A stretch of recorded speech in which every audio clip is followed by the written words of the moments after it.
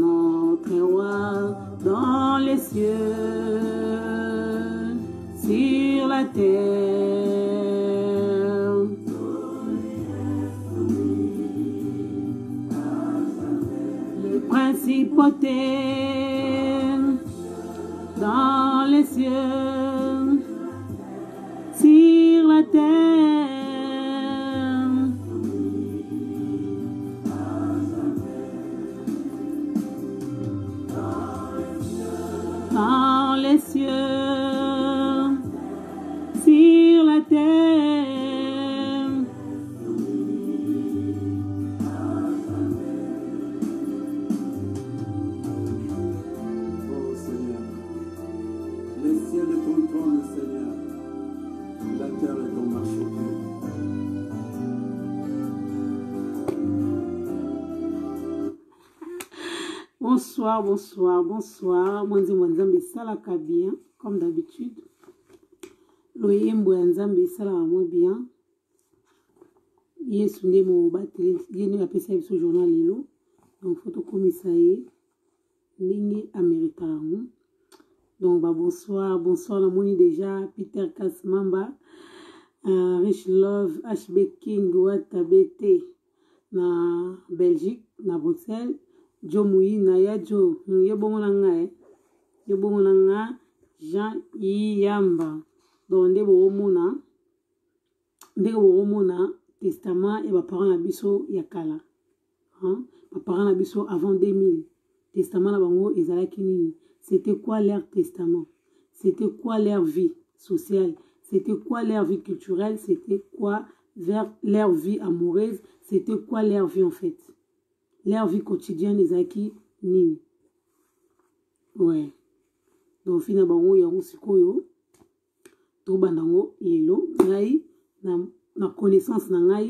oyo na recrute mwa ndambo epa bato bato bazalaki na epoke wana déjà de 1900 de 1960 65 70 donc voilà bato bazalaki na epoke wana nazwaki mwa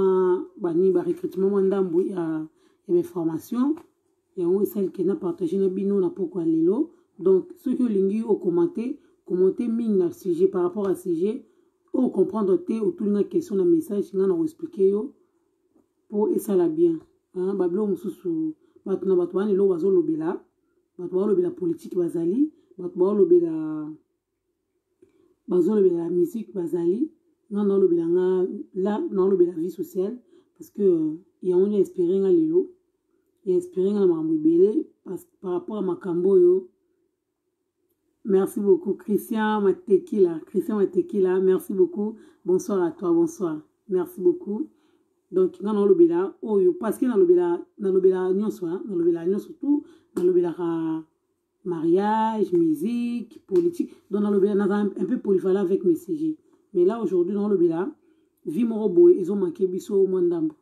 mwa ndambo te mais ezomake biso vraiment oyo toanda oyeba yango te parce que na n'époque na biso nde biso tokoli bana, bana 1900 il y avait pas vraiment de, de testament testament ezalaki peut-être soki papa atiki lopango aza mapango mibale misato mais na mapango mibale misato wana eh, omona mpe aza na basi mibale misato même soki okoki koignore mai omona likambo ebimi na famille boye ozomonaka bato mosusu bazwaka na kati ya lopango boza na bango bilongi ndenge moko so bokokana na miso te omona bokokana na monoko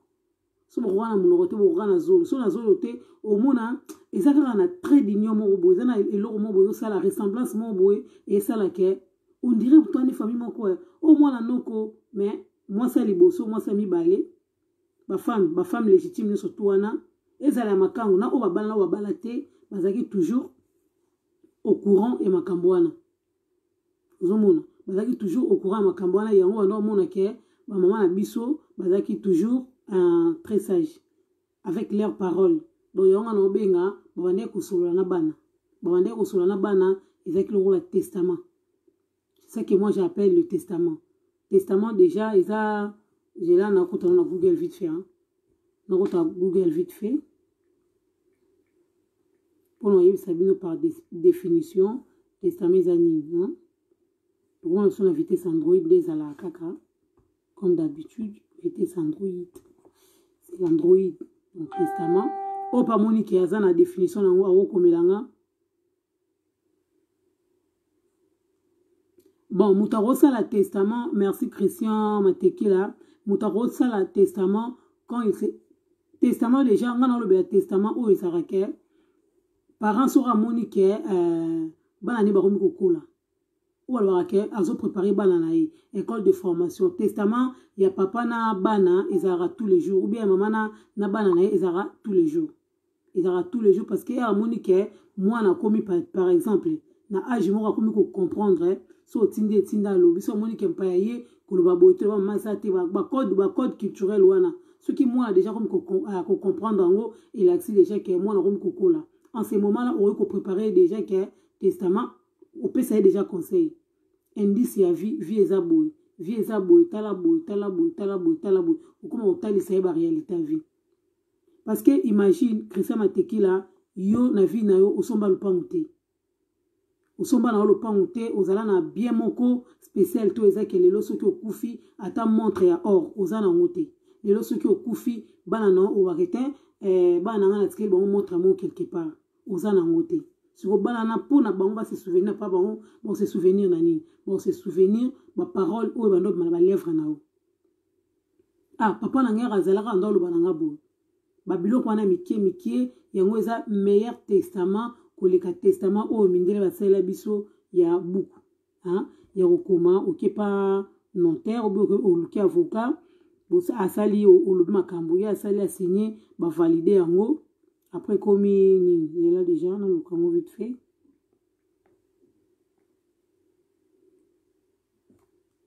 emo deja testament na mwa deja ebele ezobimela deja ebele a babengi yango l'inventaire de vos biens ou encore un guide sur la succession en absence de testament tu vois donc batiango lokola inventaire eza lokola marchandise moko boye oza nango ere mokolo yo kozala te yango nde sikoyo ekopresente kolakisaka ke yo otikaki boye otikaki boye peut-être oza na oza na temps ya koyebisa motu te ke omoni boye natika eloko boye natika eloko boye mais tellement heure ozalaki vivant opreparaki yango déjà oprepare déjà cahier de compte na yo oyo ezalaki ah lipa boye natikaki yango lipa eza na valeur ya autant eh, nguba natikaki yango na valeur ya autant nini boye natikaki yango na valeur ya autant donc voilà abayasi biso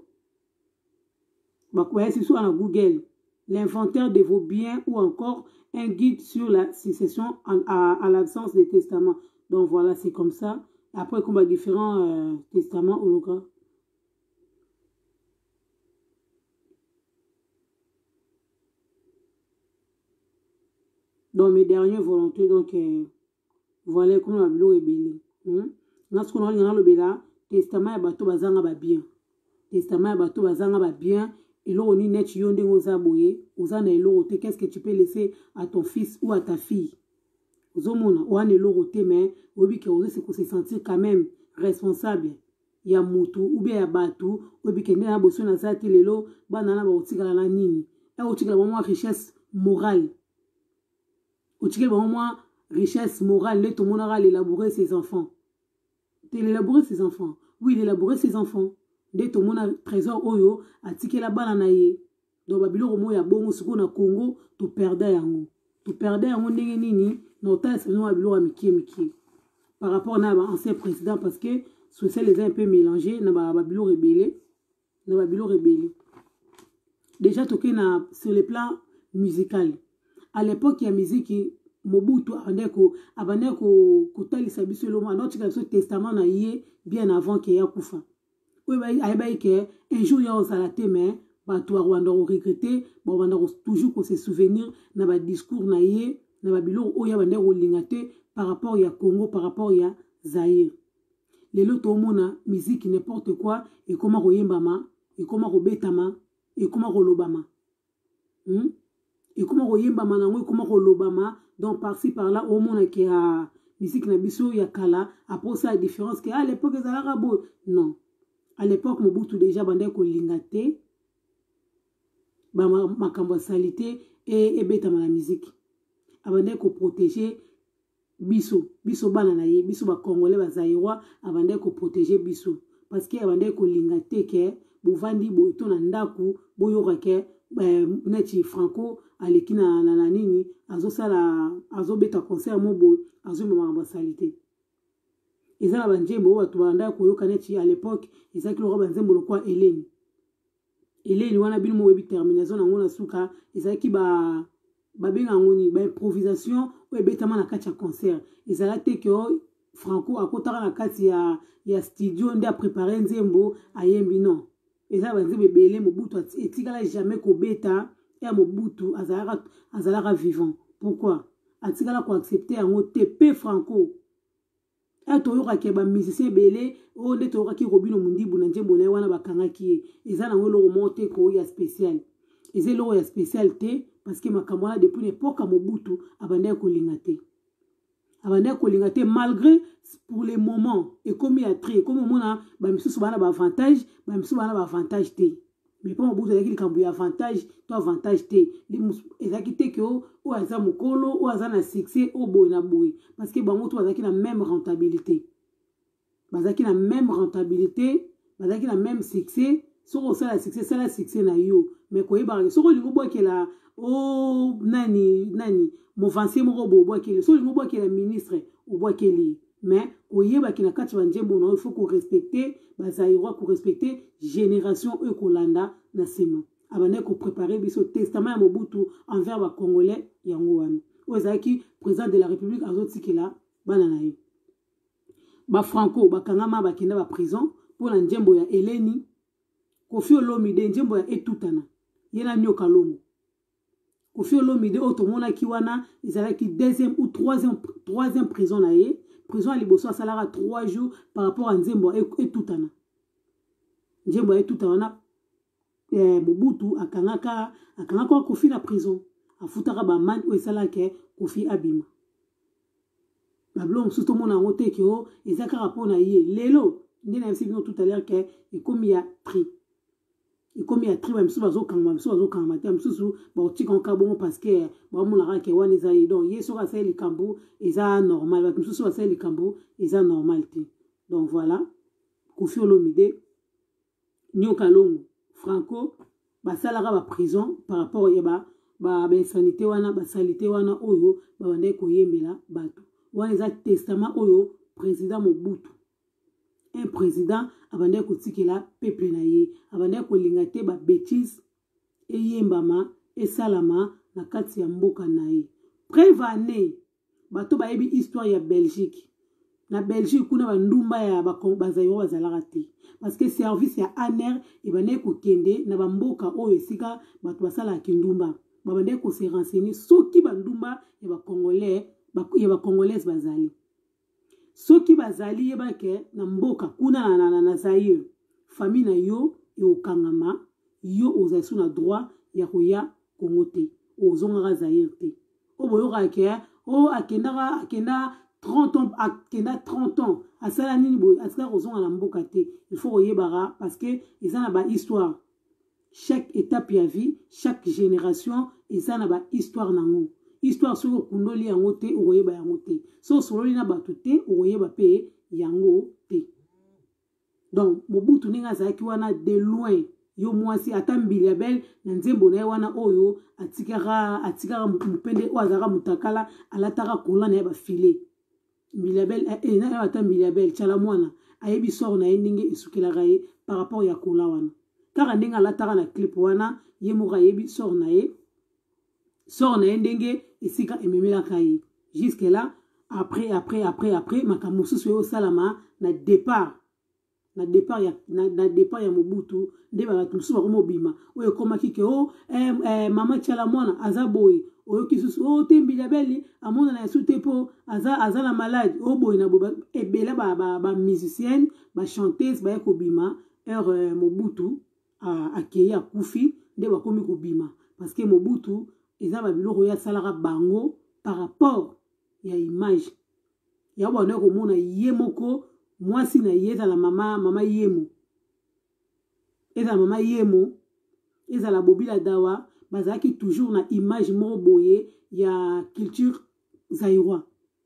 suki ya milai suki ya singa suki ya, ya maboko bamoseka suki ya niata ba mwasi soki alinga eh, mobali soki alinga tya yombo akochauffe babenga yango nini akochauffe yombo achauffe yango na moto akalingi na yango suki azalaki na besoin toujours koga mpo azalaki toujours na besoin eh, zairois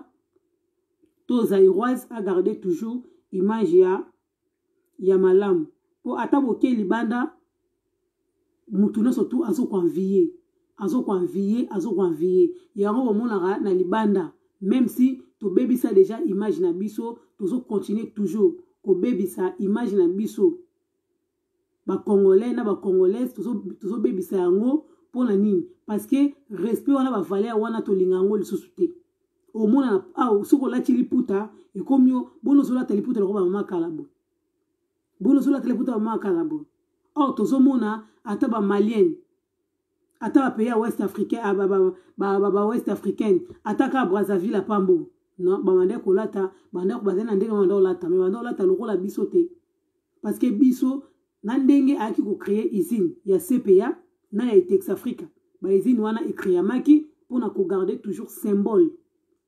ezala te ke bilamba ezosalama awa te ezotekama awa te ifo kokende kokatisa ngambu fo kozwa bavi non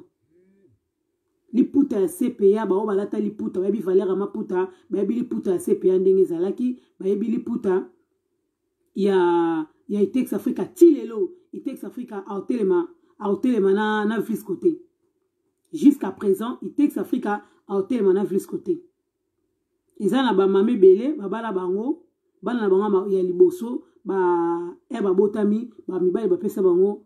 maputa ya itex africa na ya cpa parce que ezalaki ezalaki le meilleur panne coton ezalaki ya rdc matière to bandosala liputa wana ezalaki ya rdc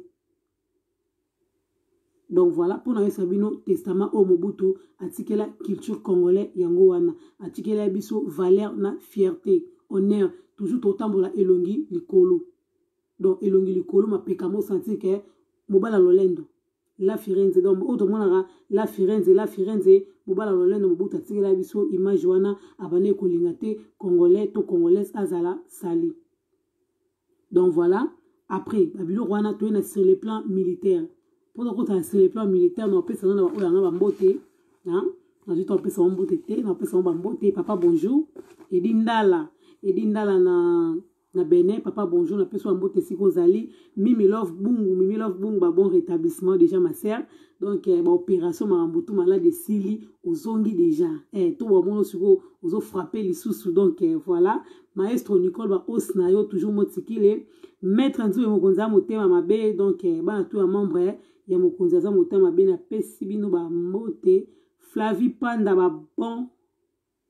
bon arrivé balobani babon arrivé babon arrivé ici à paris donc voilà oza vraiment ngai na souhaite yo ba le bienvenu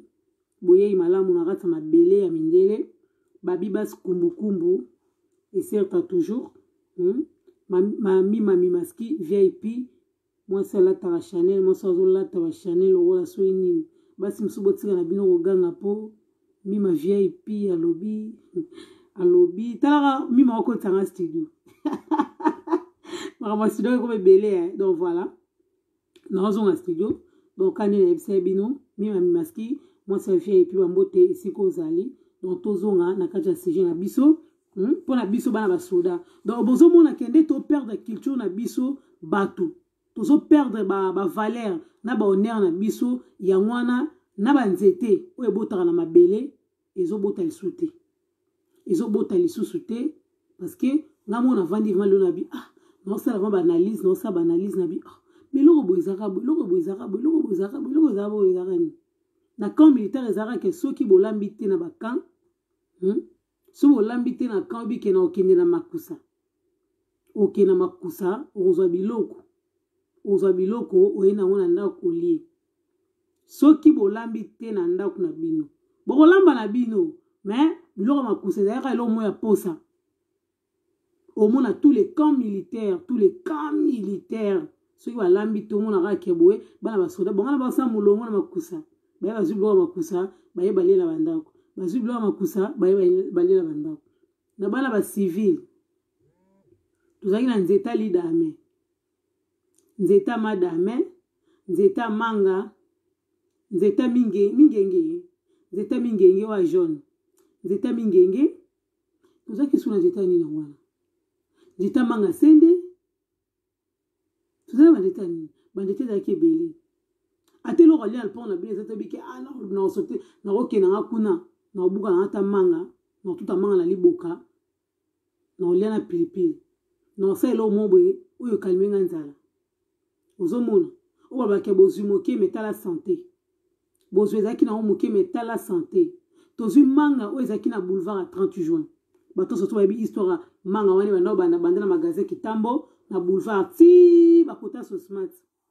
njeta banjeta manga wana etangisi bato parce que bato mosusu nde bazalaki wana manga wana bamindele bandaki kolia yango parce que manga na bandaki comprendre yango te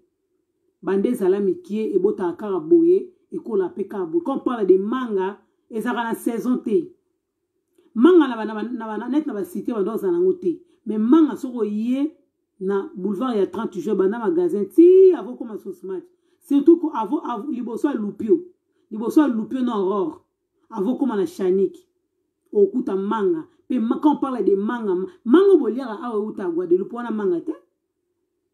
wana manga te wana manga bajeti manga wana etangisi bato elesa bato ebokola bato esombela bato ba bandako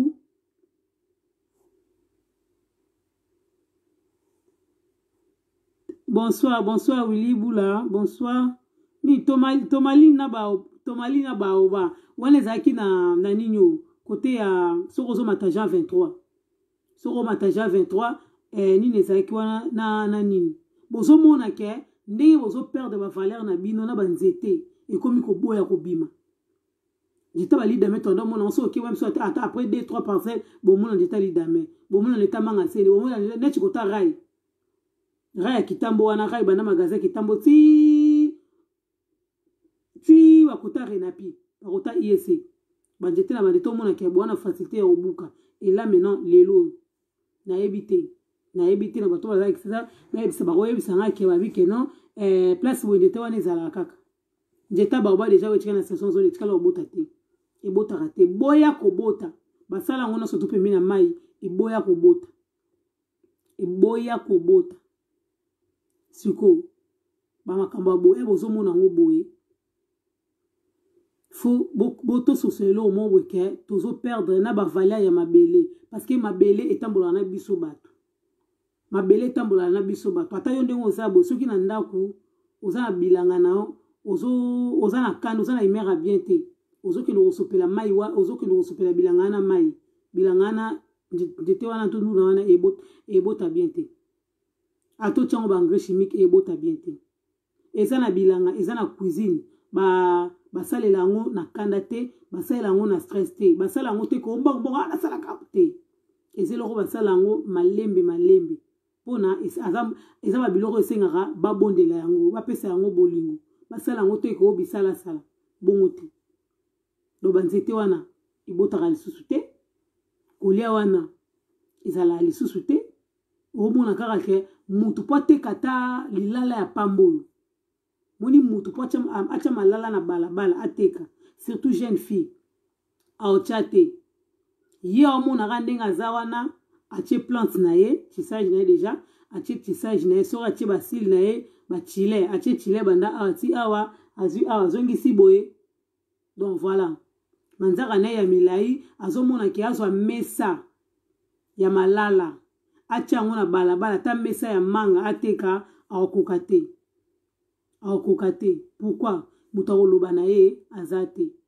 testama ya motu bapesa ye te batikela ye te nyonso ekóma nango kaka lese ya le sikoyo bapapa bazalaki bazalaki na bana ba 50 bana 30 bana 40 mais asalaka na onatra na salaire moko bana wana baotanga oyo na epn bisumba baotanga na laiki baosala boye baotangaka boye omona babenganaka ye tout les jours mais au final bana wana bazalaka maye mpe bakokende université kaka na meme alire wana mpe baosilisa baklasse na meme éducation wana osanti ke mama azoteya mwana na ye aoteya mwana na ye tous les jours na ya mwasi na ya mobali azoteya bango azoteya bango azoteya bango lelo oyo liteya parent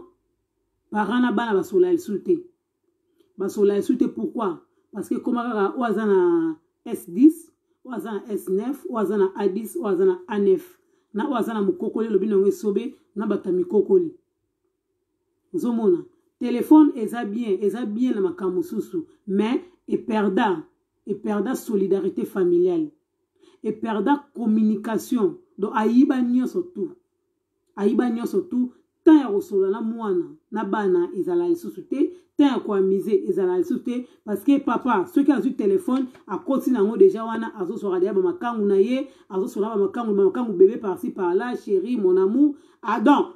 Pona ye eza bongo vie na ye esuki na telephone. Mwasi pe koto yaka kozwa ya ye pe na ba cheri na ba makangu ye eh cheri bebe butshu boye na boye abosani makambo ya bana bana pe kozala kaka ke balie basali nini mutu na mutu pe azolia na, na, na tour na ye mutu na mutu azolia na gout na ye oyo bandaki kozala te mutu na mutu azolia na gout na ye soki oyo akolia patch moi je ne veux pas le patch soki oyo akolia nini moi je ne veux pas ça moi je veux manger ça or or na 1900 baparent na biso ya 1900 ezalaki soki eza likambo ya pondu pondu soki eza likambo ya madesu madesu soki eza soso soso soki eza o oh, tokolamba o oh, mikungu e soki tokolamba kilebu e soki bokolamba mbinzo e soki bokolamba nini kifumbwa nini oyo nini bokolamba yango soki bikedi bakalinga bokolia bikedi bakalinga oyo akotia yango na mai mosusu motu mosusu oyo mpe akokalinga motu mosusu apo bosangani bolia yango ensemble soki mpe bokolamba mayo jaune loso mafuta kaka yo soki bokolata perpete na zonkio ponda madesu kaka yo me bozolia na gu moko bozolia na gu moko parce que ere bozolia na gu moko wana ezolakisa formule ya boye ya union eza formule ya union babiloko ebele bozobungisa yango bozobungisa yango parce que bose focalise bose focalise eza na président te moto akoya koloba ke banda kosangisa bana na yo non eza na président moko te akoya ke ndenge eza wana to fayulu to tisekedi to nani akoya aloba ke mama ye ndenge oza wana bana na yo fosalaka bango boye bana nofo te na yo moko de soi même ce que tu as reçu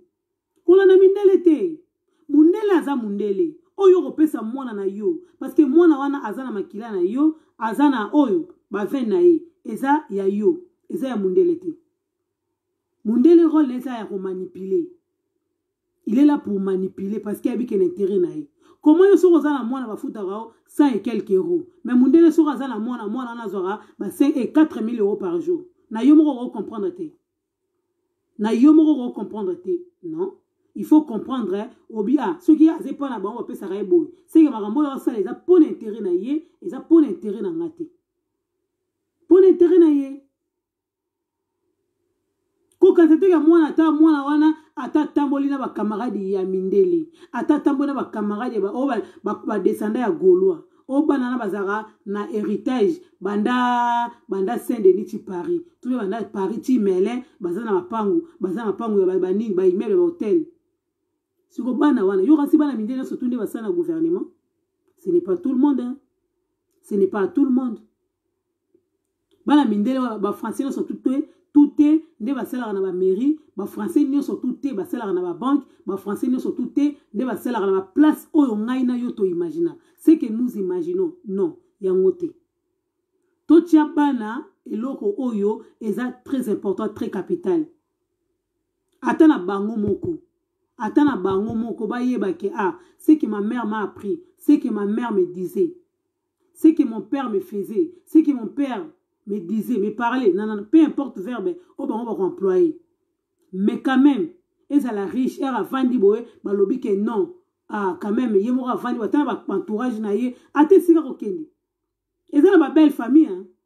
eza na babelle famille oke vrima boabi e eh, yango mobali yango ayeli bato yango mobali yango ayeli bato mobali liboso ya table bilobaloba bilobaloba pourquoi parce que yo akofandaka na bana na mesa yo na telefone koto alo eza ndeni obosani ke ozo ozolia na bana ou bien ozolia en famille ou bien ozosala eloko moko oyo eza très important na kati ya table yo moko na telefone ozolia biloko ya pilipili ozolia biloko ya moto ya, mu, ya, ya, ya, ya, ya mokuwa yebisanga mokuwa soki ekangami na kingo ekoma oloba nino ndoki na kishasa moto alinga alinga alekisa o lokola motu moko abengaki oyo oyambaki te olobi e eh, misala na bango seke bazotala ngai misala na bango balingi balekisa o te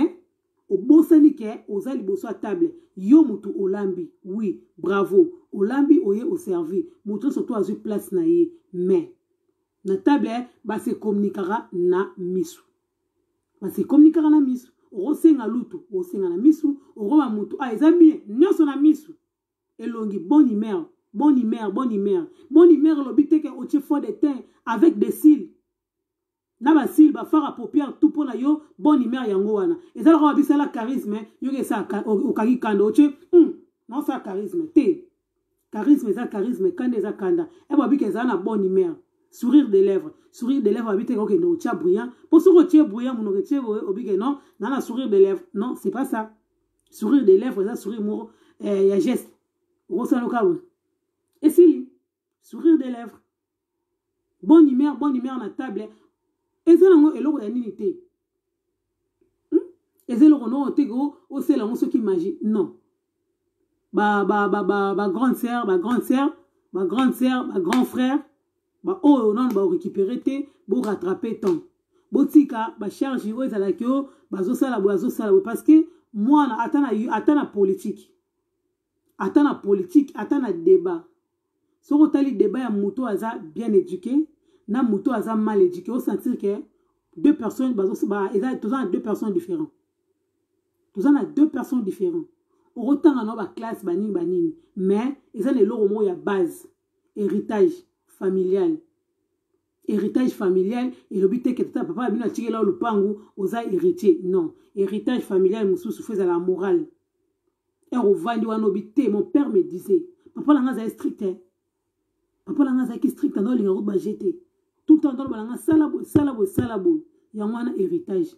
yango wana testament oyo papa ya bino atikela yo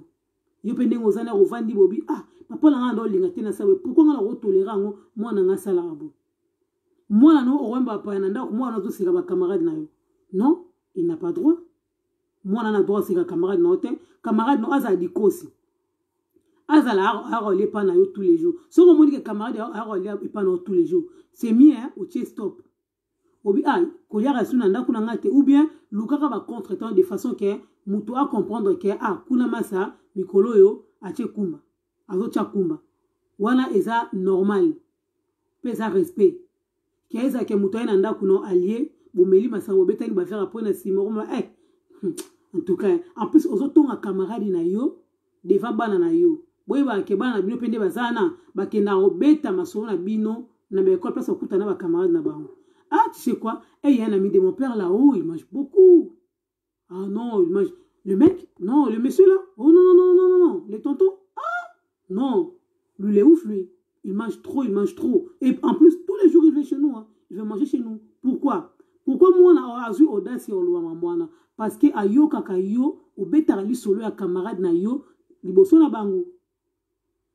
okoremarke ozosala euh, remarque epa mwasi na yo devant bana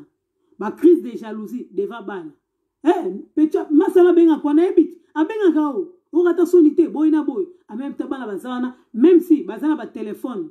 ozwi olukela bango distraction batelefone mais bazo comprendre ke papa na biso aosala zuwa epa mama na biso ou bien mwasi akotika kuna eh mama kangu nana babenga kwana nana obandi kofinga eh nana obandi kofinga mobali banda na chambre eh, esika bolala ti na salon kote bana bafandi na cuisine bozo donc ozo circuler na bakofinga na bainjure sans oublier que testament ozotikela bana eza ya kofinga yango wana omonaka ke mwana no eh, malgré sa beauté malgré sa beauté ata azongala lokola lokola nini hein? mais tellement akokaka kogere kanda na ye te akokaka kogere basituation te yango wana elle se retrouve tout le temps dans la merde dans la merde bokonda na bana te kende eza boye o oh, te to ofandi na oka bobi ke non eh olingi mobali na nga boye na boye osali boye non il y a des choses il y a des choses eza na bato base prépara baprépara bango mpo bazala baparent eza na bato baprépara bango mpo bazala bamaman eza na bato baprépara bango mpo bazala bapapa ce n'est pas donné à n'importe qui avoir beaucoup des enfants eza synonyme ya ozala te ke d'être un bon père ou bien une bonne mère non eza yango te eza yango te c'est que toi tu dois à tes enfants oyo opesaka bana na yo testament oyo otikelaka bana na yo oyo yo ozotikela bango tous les jours yango wana préparation wana yango nde osala ke bana na yo ya bavandi babi ke non toza boye ya batali babi ke non oyo bana etei bana kingani bana basoda na ba camp militaire na ba rei na bango bayembaka makambo ya betise mpo nayebisa bino bayembaka makambo ya betise na ba rei me ata mokolo moko te makambo wana ekota na bandako na bango ata mokolo moko te me bavandaka na bakan bakoli na bakan amweke soki mwana ake kota mosala soda ndako ya kodecouvrir a ah, ezaka nde boye ezaka nde boye me ye mpo akota na même discipline meme discipline mwana soda aza teti me koyoka mwana soda atelemi azwi audace ya kofinga alongwelaka kuna aboye na boye ezalaka te parce que bakoli na discipline mosusu bakoli na discipline militaire discipline militaire eza ya fimbu te eza ya kobeta te ke banda basoda babetaka bana non eza yango te eza ke discipline oyo ya mosala etikala na mosala bouche be oyo ya ndako etikalaka ya ndako biso baoyo tozo comprendre te baparent ya 2000 baparent ya 2000 bafemme marie ya 2000 bahomme marie ya 2000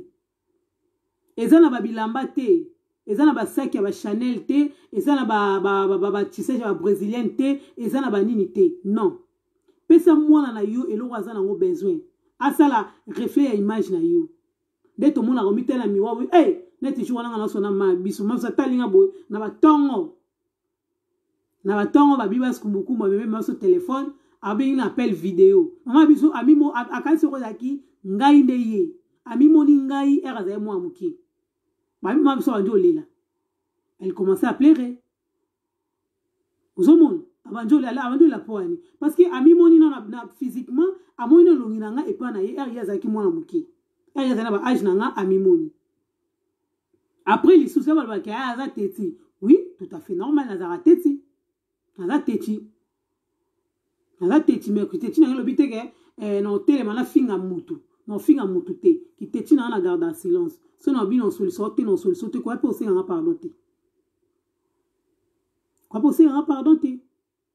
parce que eza ba biloko mosusu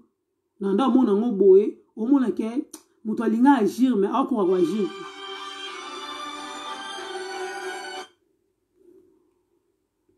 moto alingaki agir mais azokoka koagir te pourquoi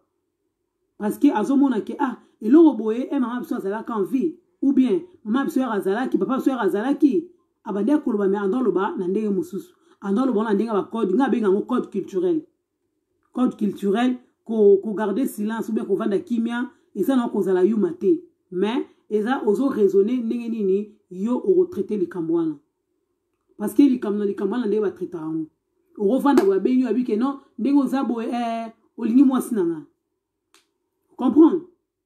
olingi mwasi na nga bon ere otala boye olingi mwasi wana te mais peut-être mwasi na ye par rapport à comportement akoma nango na ndako ekoma kobimisa yo lokola yo makangu na ye ou bien conseil yo opesaka ozosolola na ye ezosala ke ye akenda kosala babuzoba na kati ya ndako na libala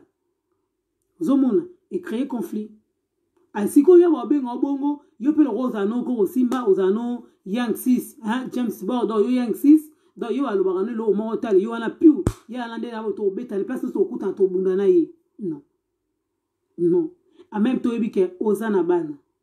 otikela bana no héritage nini ya bituma Hey, eh, mon père ne rigolait pas. Mon père, si tu me parles, je te défonce. Oui, moi, il faut avoir un défensif. Na kaya bitumba. na cas ya bitumba akoki ko se laisser faire te mais soki eza échange de parole ya maloba batraita yango soit na silence ou bien après plus tard avec des mots mais eza teke place ya, bitum, ya, ya maloba yo okomisi yango likofi je te défense pourquoi tu m'as parlé comme ça pourquoi tu m'as appelé pourquoi tu nananana te ça sert à rien en même temps ozotraite likambo wana bana no bavai na salon bana na bavandi na salon mosusu mona papa mwana mosusu omwana azobenga papa arrête arrête de crier papa tu fais mal aux oreilles mais papa afandaki wana ye ana so namoni ye yana kobeta nakolakiseke ngai na njilwa nakolakiseke ngai na mwana boye nakolakiseke na mwana dallas nakolakiseke na mwana boye okosisa bakomi nyonso tokolakisa mwana mais mwana no avandi wana eza testament oyo ozotikela mwana na yo ye mpe yaka kokola papa akodefense omoni okolemba mwana na prison kaka babengi yo mwana aza na garde à vie il est où na garde à vie il est où na garde à vie pourquoi et eh, mon père ne rigolait pas hein. mon père si tu lui parles il te défonce de suite pourquoi tochange batestament tochange batestament envers bana na biso ya mibali botosi eleki mbeka botosi eleki mbeka Moto ozo sola na ye oyo azo yoka yo eleki na moto oyo yo ozo kabela ye ba mbongo oyo azo pesa yo ba lokumu. Lokumu ya solo ezaka heure moto azo pesa yo azo loba no eloko moko boye o se sentir tu te retrouve tu te retrouve en fait okovanda bozali na ba problème moko omona osololi na moto moko boye a soulager cerveau na yo. omona ke ozalaki na mutu mpasi obande ozalaki vrima na mutu mpe ezalaki kilo charge mais ere osoli na mutu wana omona mutu wana apese motema na yo aedifie yo aedifie yo jour mosusu nakenda kotala ndeko mo boye sere mo babotaki abotaki na ye normal yango akende nango otala ye Imbattable Tshoura Mboma. testament ya bana, testament ya bana kande komami wana donc eh, testament, testament ni totikela bana biso, hein? Testament ya ba parents ya ba papa ya 1900 na ba parents 2000 donc voilà. Testament te que faut tikela ba ba gars hein, champion Tshoura Mboma imbattable. L'imbattable ya te kotikele ba gants aya mutu mutu maloba cerveau na yo prépare yango ndenge nini jour yo ozala te ou bien okoma incapable ya kodefendre ye ezala ndenge nini donc voilà ya poto ozonga sujet nake tala sere na nga wana ah, sere na nga noyebi kaka oyebi kaka babasi ya poto balela bango ebele ebele eh, bamaquillage eh, banini siko nga nake otala ye nazali na nga normal comme d'habitude boyebi ke mwasi mandefu des fois ye aza na ye bio na bio naturel donc eh, voilà je peux ou ne pas moi elobela nango eloo te nga mande na aboye natya poudre natya poudre te nga elobela yango eloo te maquillage ou pas elobela yango eloo te cheveux tissage nana elobela yango eloo ta preuve ane donc voilà naza nango bongo nake tala ye namoni debat mai mwasi na mbali ko debat o te wana maboye te neti na bino nyango ezali o te teloni ezali maske boye na bongapi ah, we maske yango oyo oza nango oya maske nando solane nando solane nando sa elikama maske te elikama maske te oya deja na bana bana misusu bazali baozela yo donc na balire oyo na balire oyo okende nango boye parce que outi kobota ozomesa mwana libele mwana amelaka libele te ke eh, yo ozoswanisa papa na ye azomela libele bana misusu bamelaka te basi boyebaka te oyo mwana alingaka libele te alingaka libele te aboya libele parce que aboyi komela libele ya koswana parce que libele ezalaka nini heure yo wale outi kobota parce que après un certain temps mwana azomela libele mais yo ozokobanda kocontinue kolala na papa na ye parce que heure bino bozosanganaka bongo ezopesa vitamine na mabele biloko ti wanda kolia ezovanda donc eza ye mpe fo alia yango sikoyo yebisanga olie na kanda baloba baangwelanga ah, kuna basala ah, tika ngai kende ba mwasi no kuna sala boye eye eh, boye na sikoyo mwana oyo auti obotama akokomprendre deja mitema mibale eyeyokana te omonaka libele olingi omelisa mwana libele boye libele ebima te mabele ezobima te parce que il faut se demander nanu libele ndenge azomelisa mwana na nga eza libele ya malamu to ya mabe eza loko ozolambela bato biloko ozwi elongo okangi kakolambelaka bato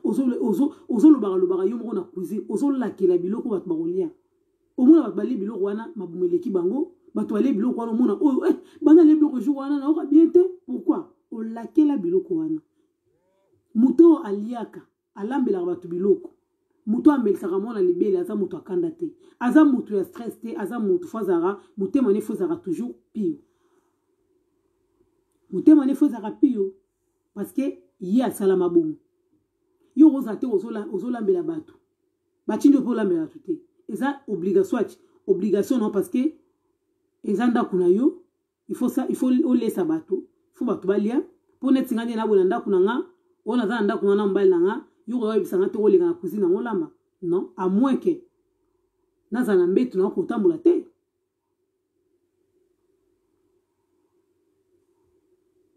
parce que yo moto olekaka mama na cuisine yango kilamba ya na sens te ya na sens te siko na yo moto ozokende kolambela bato biloko fo oyebaka ndenge nini okoservi bato biloko ozolambela bato biloko ozolakela biloko wana mpo na yo omonaka ah, balingi kolia bato mingi koya ya bato eh, eh, te soki omoni ke okolamba biloko te kosana ata maladi ezalaka meilleur strate lokuta ezalaka mabe te eza na lokuta na lokuta lokuta ezalaka mabe te ekoki sentir obi ah biloko ya bato ebele biloko ya 10 personne bapaya bazoi kosana ata maladi yaya kangama ata na embouteillage kangama na embouteillage zwa texto telefone omona miniti wana telefone ekozwa ata role moko ya monene okomi papa ndi na boye moye nazonga ndako eza te mpo taka bapaya baza na moye nalamba eza te me naza na nga awa epa camarade na nga navandi yo olobaka ke Mama akangami soit na embouteillage, soit azoyoka bien te nga nazolanda ye. Okobima na bapaya njela moko. Ke yo ovanda na cuisine, ozoloba, ozoloba, ozoloba, bana na yo pe. Bazomona yo ndenge ozoloba. Et maman elle est en train de murmurer là. Omonaka bana ekomi ka dans la chambre, dans la chambre. Wana français bimaka lisusu te. Dans la chambre, et toi là-bas. Arrête de me poser des questions. Tu fais quoi? L'écouter. Allez, dégagez, dégagez. Non. oza na ndako na yo oza na cuisine na yo tu veux oui tu ne veux pas tu laisse mais kolambela bato biloko ozoloka ozoloka biloko te parce que eza mauvaise habitude opesa bana na yo mpo bana ezalaki na bandako na banso bapaya baye omona aye asali stek na pate avandi alemo mpo na ye mpo na ye journée esili wana makambo na ye esili amoni ke aza bien nzoka nde eza mabe eza mabe na oyo ye atie na kati ya mitu ya bana bana baokola nango eza bien te toluka batestament ya malamu ya kotikela bana na biso oyo eza vraimen point ya suka point ya suka na ngai nalobela point ya suka eza point oyo mpo na bajeune fille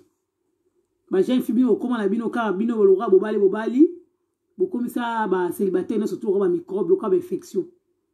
bokotaka ba kikumbi te bokotaka kikumbi te ezala na poto ezala na kin ba jeune fille bakotaka lisusu kikumbi te kikumbi c'est quoi mwana mwasi akotaka kikumbi à partir ya 13 ans bandi koprepare ye ti na ndenge akokende na ndako ya libala ti na age esengake abala akei nde banda tobanda omona na bakini omona eh, fi moko boye azalaka wana abotama swati ye moko swati mibale me oyo ya mokolo alambaka tout le temps omona na ntongo ye moto alambaka ye moto akokomba liboso ya ndako ye moto akosala boye ake wenze baprograme tout ezopesama epa na ye pourquoi yango wana babengaka kikumbi na kikongo so na comprendre na kikongo bakongo eh, quelque chose comme ça bango babengaka yango bongo kikumbi bazo prepare ye mpo na futur ndenge nini akogere ndako na ye akogere bana na ye libala na ye kovanda na ye position na ye posture na ye sourire na ye makambo na ye tout baregard na ye oyo eza mpe baluba baluba bazala na babiloko moko bamike mike omona ah, kakupa alekisi kakupa alekisi alekisi te bazo prepare yo bazo prepare yo la tomona yango lisusu te la tomona yango lisusu te liputa liputa ezalaka très important parce que jeune fille tout mwana mwasi congolaise nyonso tout il faut alata liputa il faut ayeba kokanga liputa eza obligatoire liputa tolata yango ya moitie te liputa na biso esalama wana mpo na kolata yango a moitie te mpo na kolata te ke ozwi kaka mito mabele ekangi mito mabele ekangi na mkongo libanda te liputa na biso ezalaka bongo te liputa na biso elatamaka na 3 pièces elatamaka siyar elatamaka na siyar meme na bauniversité omonaka motu soki alingi asala défense na ye balatisaka ye basengaka ye alata 3 pièces ya liputa soit otongi yango na jupe soit otiki yango liputa na libaya okangi mosusu ligaya na motu soit olati yango maputa, ah, maputa mibale ozwi suki na yo obendi yango obe oke na salon babongisi yango comme ndenge olingela ebimisa yo kitoko mais liputa eza très important na kati ya kikumbi balakisaka deja jeune fille kolata liputa na kikumbi na age ya 13 ans après wana bakomi kolakisa ye ndenge nini ya kotanda mbetu Ndenge nini otanda mbetu na tongo reveil na ye alamukaka heure nini faut alamuka parce que kuna telme ezaka tour à tongo tour à midi omona ke avant lamuka avant ya kende classe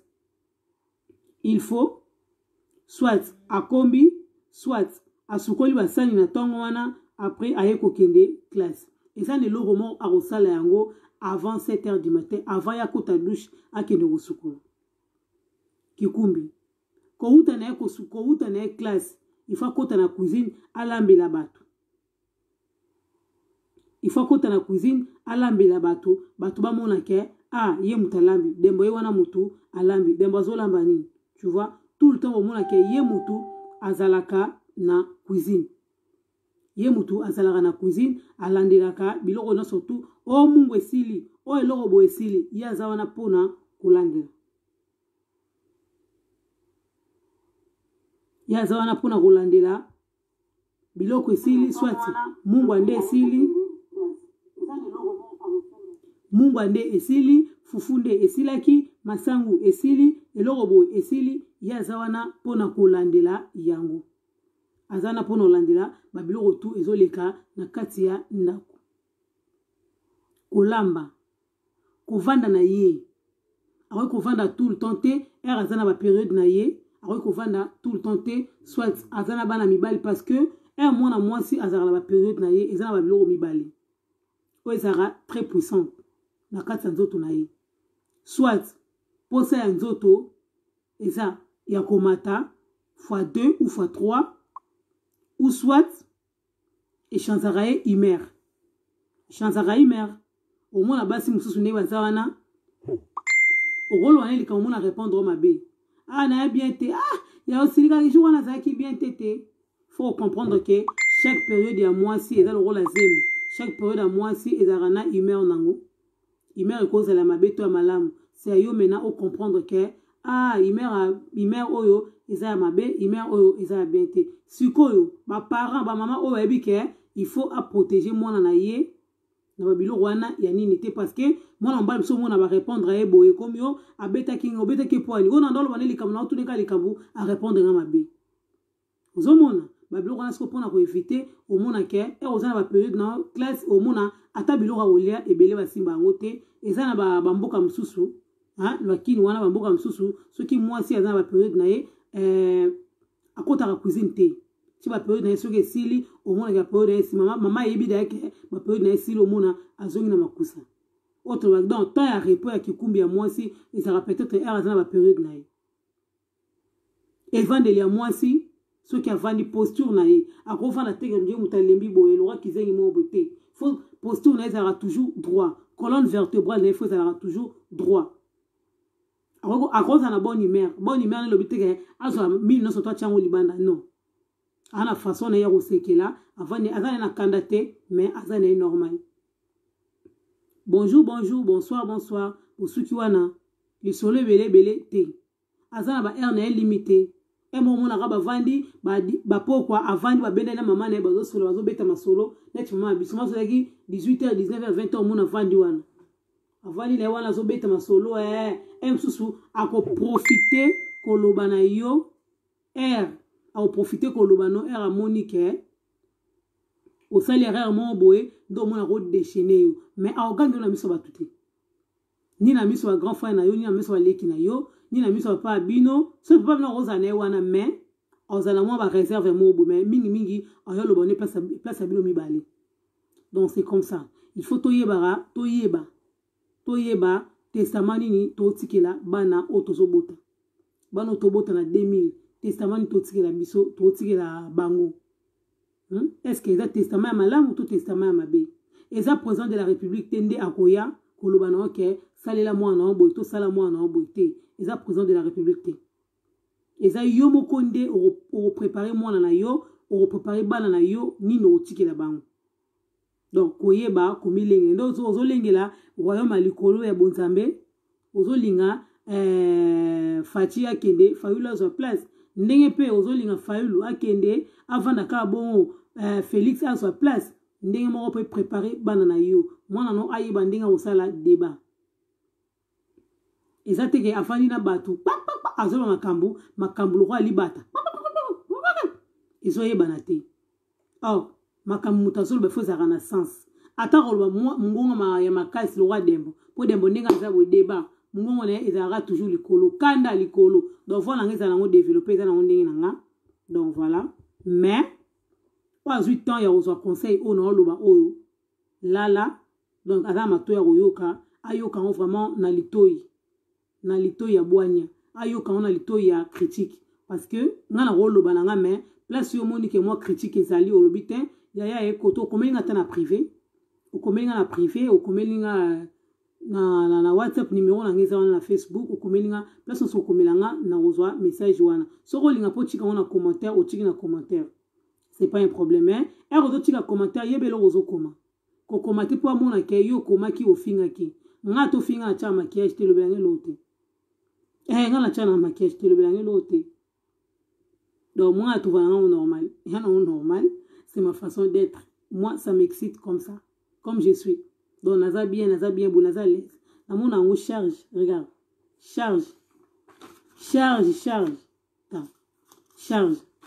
tout le temps okenda obimi ozongi boye osukolaka elongi osalaka bopakola bipakola deja na moto ya mandefu mandefu bafoi de tana soki ekangisi na mandefu wana talaka bakushe wana hmm? donc voilà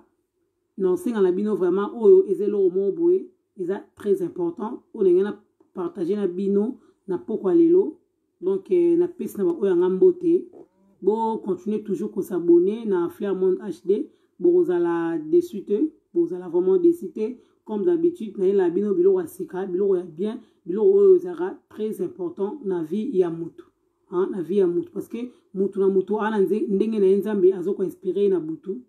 nga aza ndenge na nga nzambe inspire nga donc eh, voilà merci à toi maréchal nzube mokonzi aza motema mabe merci ya bato nyonso tu balingaka demba wemo bosabone na flair monde hd chaîne na ngai ya youtube yango wana bosabone bosabone bosabone massivement massivement vraiment vraiment bosabone ekosala ngai bien napesi eh, napesi bato nyonso tu balandi ngai na pokwa lelo napesi bango bambote na banano likolo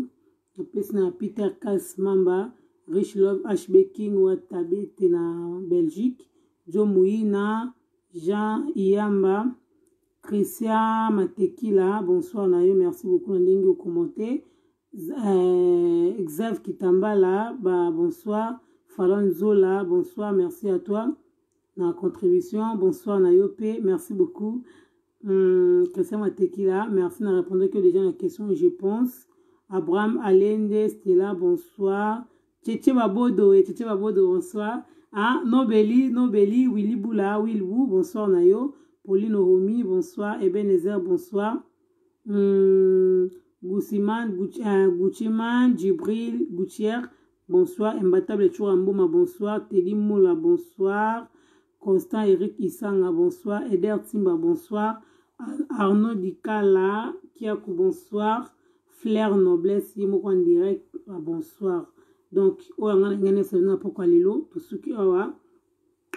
merci na edi ndala papa bonjour naozela kaka bablouson na bamokasi naozela mimi love bungu kande tosolaki na inbox maestro nicole maître nzube mokonzi ya motema mabe flavia panda babi basikumbukumbu l'unité centrale de mon cœur nayebisi bino donc eh, à ma grande sœur chérie eliane chudi motema ya fernando zanga dakuna ve nanga page ongendala mi de tout le monde donc vie na nga page ongenda l'ami de tout le monde junior ayoga ango bambote esika ozali bayebi bolanda bolanda toni ambrosio o potable yango wana eza déjà sur le marché hein? bolanda yango bopartage boaime yango parce que yango nde eza makambo nalela bino fort tokutani bongo mpona mbala ya nsima soit lobi ou après lobi nde kaka na rythme kaka ndenge ezalaka kaka mais nalela bino ya trop ya trop ya trop ya trop